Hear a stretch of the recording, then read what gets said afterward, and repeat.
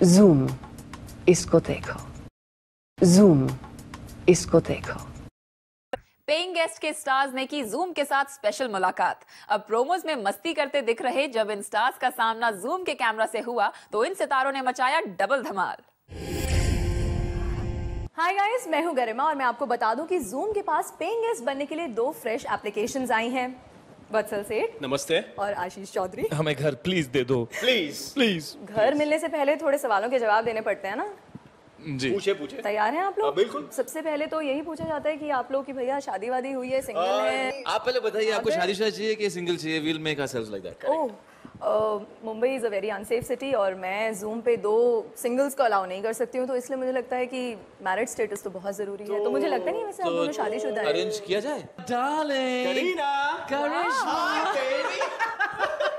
आप हमें बताएँगे कि आपकी फ़िल्म किस बारे में है? It's not a serious film. That's why you can't be serious. Mic ठीक से पकड़िए। No, it's not a serious film. We can't be serious. Serious क्यों रहेंगे यार? हम एंटरटेन करने के लिए आए हम एंटरटेनर्स हैं यार। आप सीरियस क्यों कर रहे हैं? Suspense thriller, actually. Tony Lever साहब जो है वो किलर है। Real killers No, no. Anyways, uh, I think it's a. You want to introduce the killers Uh, the real killer? The, the, Huh? the Real killer?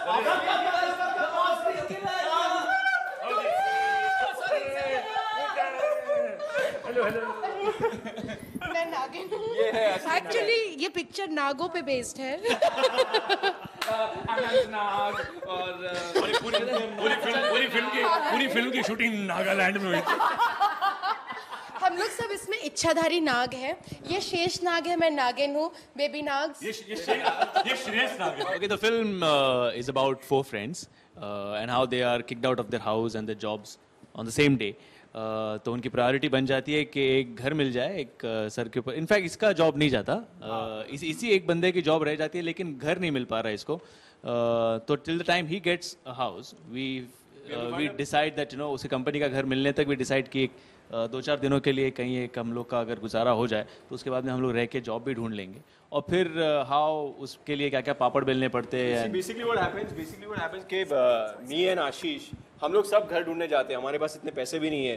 तो मैं और आशीष जाते हैं और हमको एक लैंडलॉर्ड मिल जाते हैं जो जॉनी भाई हैं। और जॉनी भाई की एक कंडीशन है कि मुझे एडवांस नहीं चाहिए डिपॉजिट नहीं चाहिए। पर you guys should be couples अब मेरी एक लाइन है जो मैं अपनी भाभी को बोलती हूँ। एंड काफ़ी मरतबा बोली पिक्चर में। भाभी ये बताओ कब हुआ? कैसे हुआ? क्यों हुआ? भाभी सब बताओ। I want to know everything भाभी। एवरीथिंग भाभी भाभी भाभी।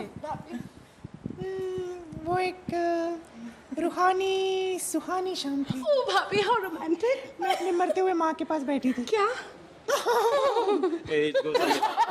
Universal film, you kids can watch it. Get your children, take your children uh, to the theaters, and watch the film. children and, and, and, and trust and trust me Javed is funnier than this okay